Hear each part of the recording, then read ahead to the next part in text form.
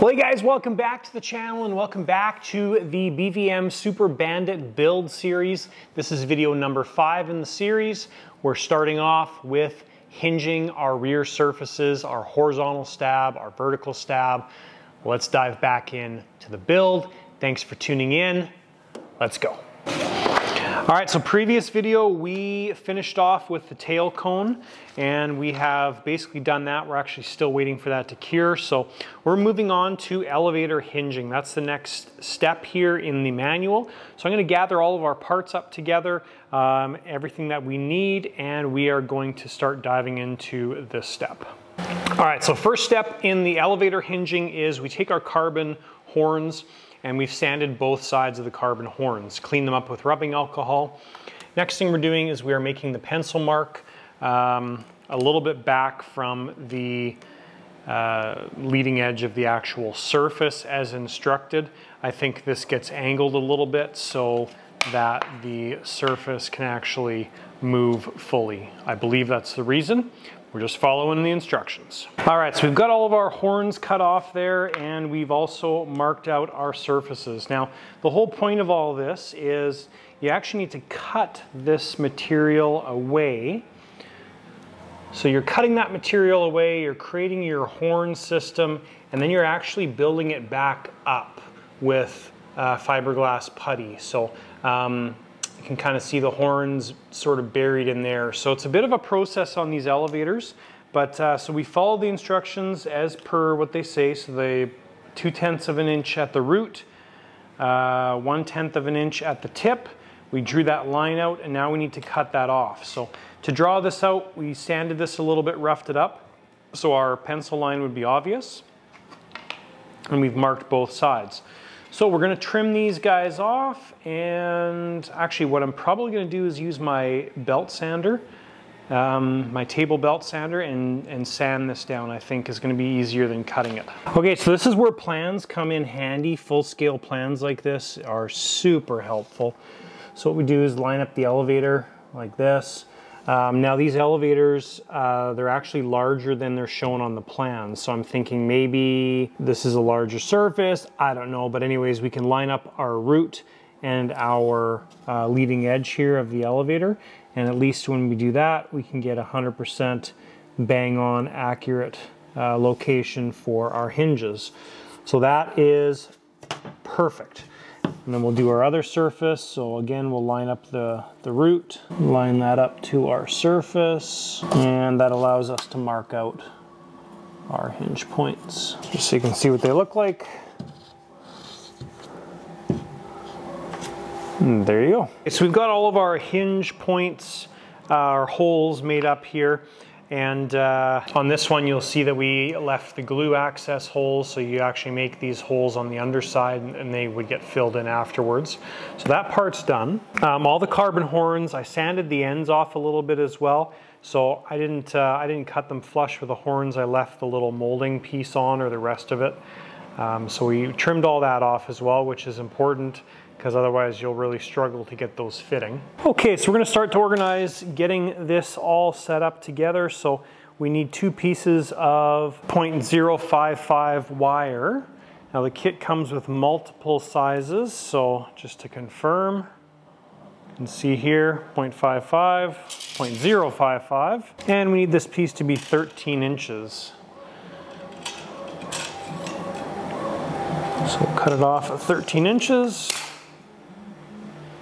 If you're wondering what these are, these are cable cutters for bicycles. So it's actually a Shimano tool.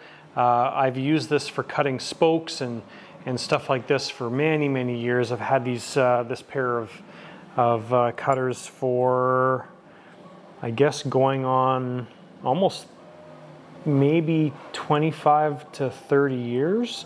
so I'm assuming they still make it, but it's, uh, at the time, they were a pretty expensive little tool. Okay, so in preparation to get this all assembled, we need to mark out the center line of our surfaces first of all. So we'll measure these guys here.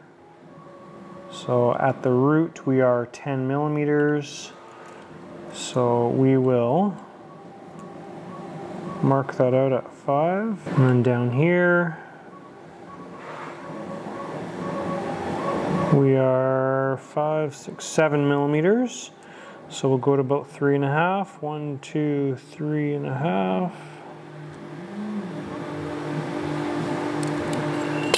I think it's even marked on the center line there for us. That's nice. There's a little hole there. All right, so we'll use our drill press vise here and we want to mark out the center line on the surface. Now the reason to mark out the center line is this is where you are making sure you're running your wire, your hinge wire.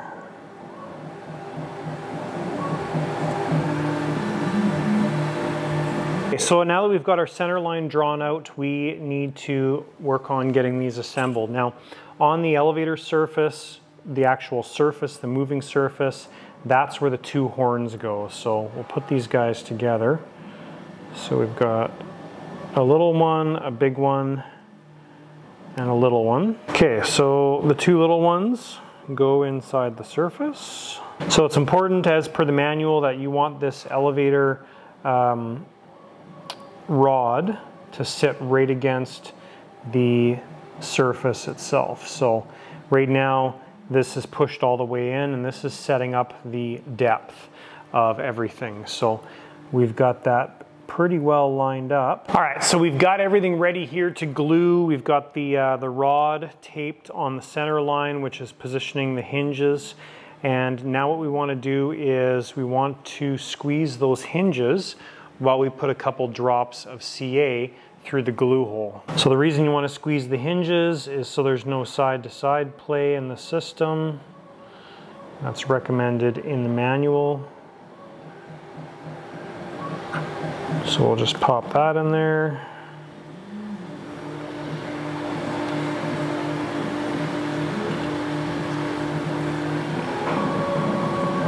There we go. So we'll set this aside now to, uh, to cure and do its thing, and we'll do the other surface. Now these, of course, will get glued with Hysol or aero epoxy. All right, so we've got all this stuff glued now. Now what we've got to do is we have to uh, create a recess in the leading edge of the elevator surface. That recess is going to allow the, um, the, the, the sheathing here to sit flush and down with the elevator surface. We got to pull the wire out, pull the hinges out, and we need to grind down the leading edge of the elevator. On the plans, it shows the inboard one comes to there.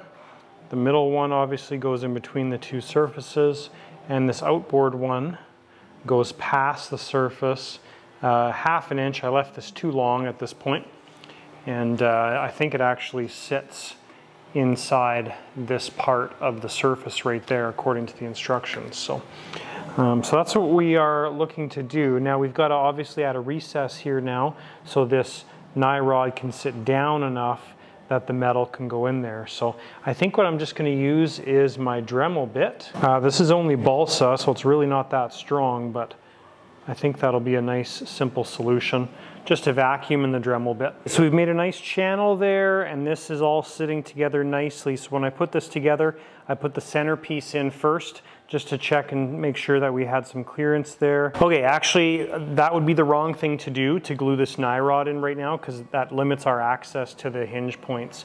So it doesn't talk about this on the elevators, but it does talk about it on the rudder portion in the manual. So we don't want to glue this together yet. So now we want to glue our hinges in and we do have a little bit of access here on the sides to make sure that we get glue in there. So that's an important thing to do before you put the Nyrods on. So we'll get the other elevator surface ready to go as well. All right, so continuing on with the elevators here, next thing we need to do is to get our uh, rod pieces here mounted in. Lay the surfaces on top of the flat uh, plans and mark out where this all mounts to.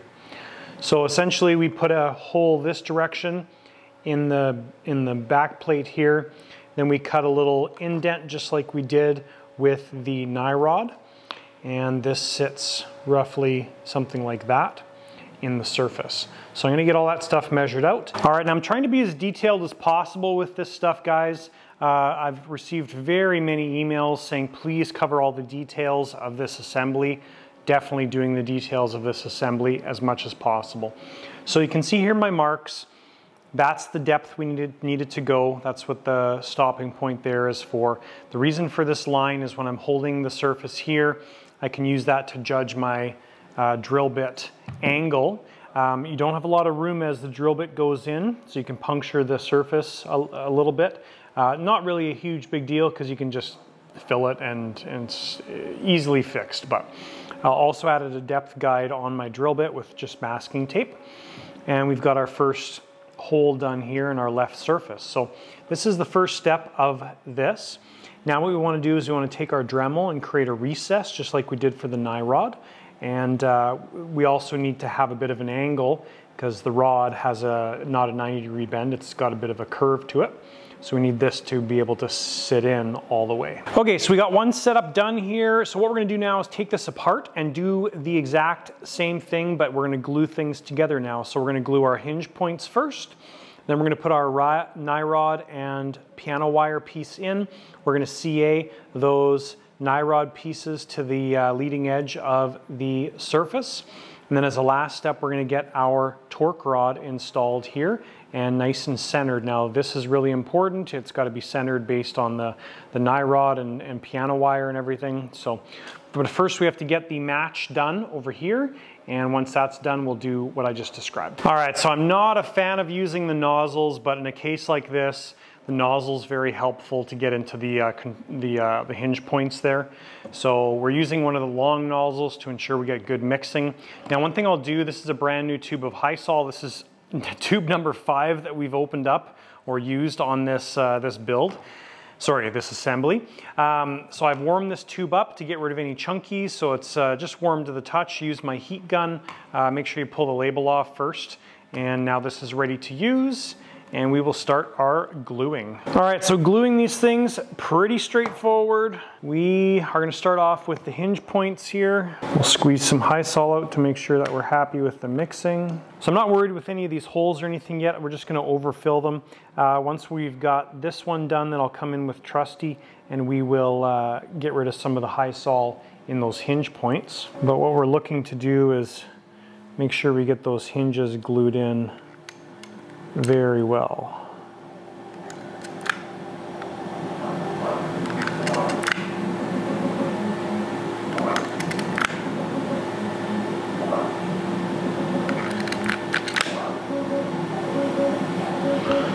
Perfect. So now we'll come in with Trusty and clean some of this stuff up. Now remember, we are forming the leading edge of this surface, so you can take all your excess and just put it on the leading edge because then it's not going to waste. Okay, so those are glued in. Now what we'll do is we'll insert our Nyrod with our piano hinge. Just do this piece by piece. There we go. Okay, so that part's done. Now we'll take our medium CA and we'll just put a bead on each side of the Nyrod section here just to hold everything in place. Okay, so we're happy with that, so we'll take some kicker. Just get all that stuff kicked off. Our rod still spins perfectly free. Okay, so now our CA is kicked off. We've got a little bit of a gap here in the center section. We'll make sure we fill that. Perfect, so that part is done.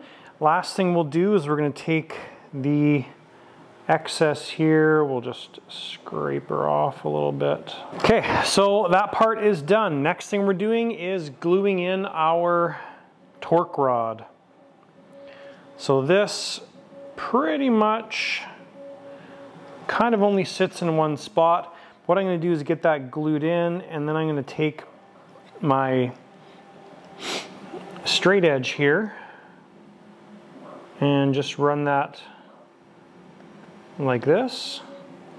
And that should follow the center line of the torque rod. Now, you're using your eyes here to get this set up, but at least it can be very close. Like, I don't know if that's gonna show up in the camera very well, but that's kind of the center location that we're looking for. So, okay, so we're gonna install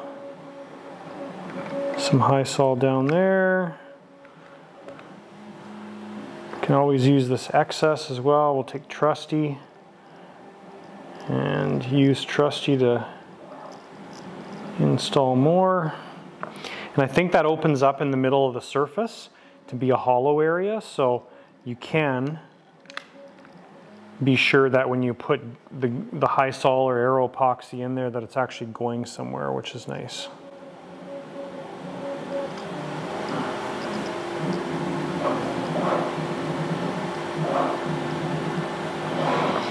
Okay, so this is probably going to ooze out a fair bit when we put this in, but it may not because it may just go inside the surface. Yeah, see that just went inside the surface. So we need to make sure we're nice and coated in that area. And this is pretty critical because this is one of those areas that you want the Hysol to be curing around your entire torque rod because this is what operates the elevators, right? So this it, it's quite critical that, that you're happy with that.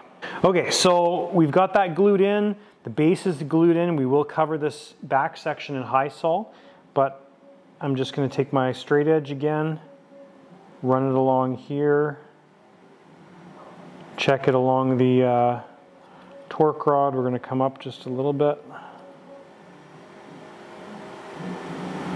There we go. Just making sure oops, that we're happy with that position.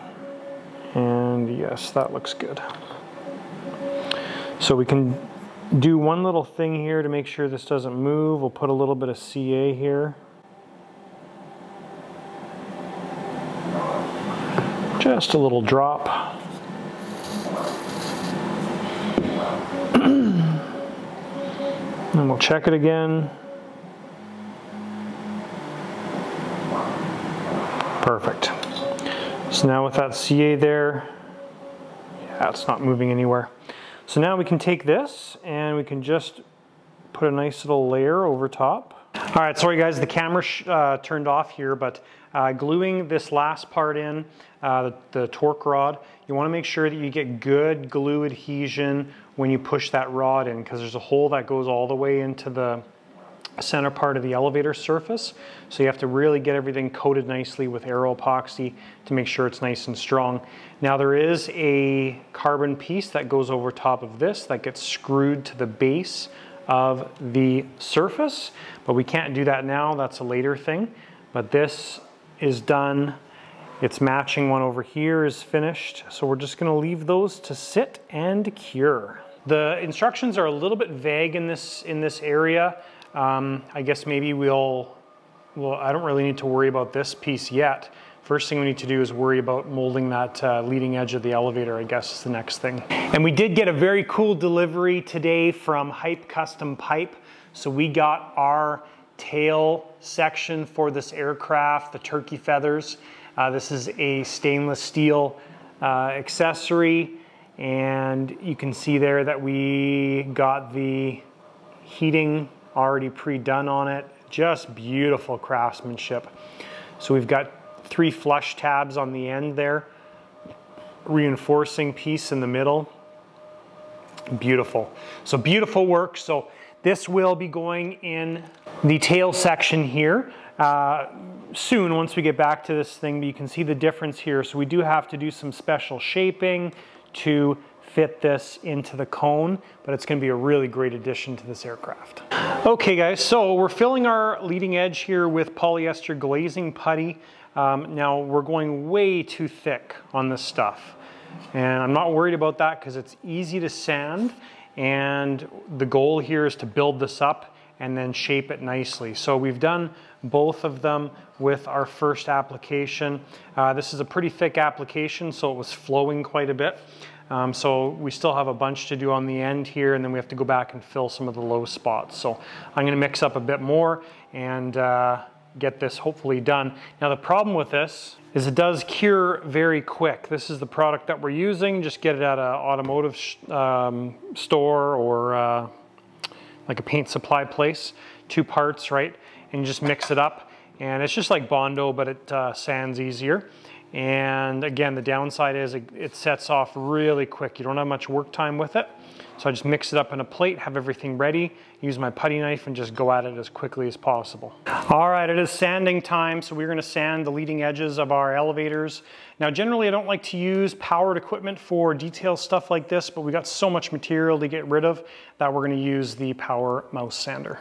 So about uh, 45 minutes later, we are sanded on one of these guys. Now you'll see that the wood's exposed there. It's not the actual wood. We've just gotten rid of the primer. There's a primer coat on all the surfaces here. So through our sanding, we have exposed a little bit of the prime or the fiberglass cloth underneath there. I don't know if you can see that, but you can see the weave still. Not a big deal at all. So we do still have a little bit of uh, pinholes to fix and little edges and stuff. So we'll go back and touch that up one more time. And uh, our uh, sol gluing ports there as well too have to touch up. But this is kind of the look we're looking for. So we're very even all the way across. Um, we've sanded the, the height there first of all and basically brought it kind of right in line with the carbon or really close to it. And then from there, just worked on shaping around the actual radius. Now, I used my table sander or belt sander first, and then went back and did a lot of this by hand. So kind of a mixture of both. Um, so anyways, that's the look we're going for. So we still have this one to do, and there's a lot of work to do on that one again, just like the first one. So one of the other important things here is how, you know, how do you get this depth there? Well, when you put this piece in, like this, tuck it right up against a flat trailing edge of the elevator. If you look there on that corner, you can see that our actual elevator surface is a little bit long. So we do still have to take our uh, sanding piece and put a little bit of a uh, divot in there. So this is the kind of tool you want to use for that, probably one of the skinnier ones. And then once we add that little indent all along the trailing edge of the horizontal stab, this surface is going to sit perfectly in there. Once we get that surface sitting in there perfectly, then we'll glue in our control horns on the other side. All right, so we got the basic shape done on both of the elevator surfaces. What we're gonna do now is we're gonna mix up some more polyester filler and we're gonna just gonna go in and do any of the small touch-up areas and like little pinholes and such and then we'll sand those out when they're uh, ready. So before we shut it down last night, we did one more coat on all the surfaces here, the two elevator surfaces. So you can see there, we've got a bunch more sanding to do. So we're gonna do that sanding and get these uh, probably, this should be it. I'm assuming we won't have any more pinholes, but uh, we're gonna get this stuff taken care of and we'll see how she fits. All right, so we've got both of our surfaces ready to go. Kind of just takes time and patience to get this to where it's fitting nice. Uh, what I used here was the Model Aviation Products sanding tubes. Started off with the small one, going all the way. I also had to use my Dremel on the tips and a file, so lots of different tools. Um, the Near the tip, uh, we needed to use just the small one, and the kind of medium next size up did about this section here, and then kept the next size up kind of in the, uh, the root half of the stab. So um, just because the, the thickness varies is the reason. So what we're gonna do now is we are going to get our hinges installed. So to get our hinges installed, it's pretty much the same thing we did on this side. We're gonna get them installed, the wire put all the way through. Now we can install all that stuff through this side right here. And then we'll flip the surface over and we'll use our little access holes and we will install some CA initially just to hold the hinges in the right spot. All right, so just getting things prepped up here to spot glue. So what I did was get the tip lined up, put some masking tape over top of it, and then just confirm that the elevator is sitting even. Also put a piece between the base and the elevator. That's to add just a little bit of gap there. So what we'll do now is we'll put a couple drops of medium CA into the hinge points, some kicker, and our hinges should be spot glued in place. All right, so we are spot glued on both of our elevators. So next thing we're gonna do is take this all apart and we are gonna Hysol our pins in place. All right, so the process for the uh, elevator hinge points here is as follows. I fill in the carbon uh, hinge points and we do that and then from there fill in the end piece here uh, with Hysol. We have to leave a little gap there for our uh, plastic nyrod to go through. So now we're going to install the surface. All right, and that wraps up our elevators. So we've taped this in place again just so it's not moving and I'll give you a shot there of all the different aspects. So we've got our carbon piece holding the base. The carbon's been glued to the aluminum uh, bushing, I guess is the best way to call it. And then all of our uh, hinge points are epoxied in as well too. So a couple of specific things here. Uh, one of the hinge points came loose. I think it was one of these guys. Anyways, not a big deal because the other one sucks it back into alignment, which is part of the reason why there's tape on there. But uh, we're gonna let this cure now and do its thing. And then by tomorrow, it should be awesome and ready to, to finish up. So, so we've got a little bit of sanding left here to do on some touch-up areas, the hinge point gluing areas. Um, we're not going to worry about things like gluing the control horn ball on the linkage here uh, because we're going to do that during the actual uh, assembly of the aircraft, uh, putting all the parts together. So we just want to get this ready for paint, which is the elevators are there. All right, guys, and that wraps up the horizontal stabs on the Super Bandit and wraps up video number five in the build series. Thanks guys for watching. If you have any questions, list them down below. Don't forget to check out the lighter side of RC after dark, which is where we do uh, live streams from the shop here, usually once every two weeks, and it gives you a real behind the scenes look at everything that's going on in the shop. So thanks guys for watching. Thanks for tuning in to the show and we will see you in the next video.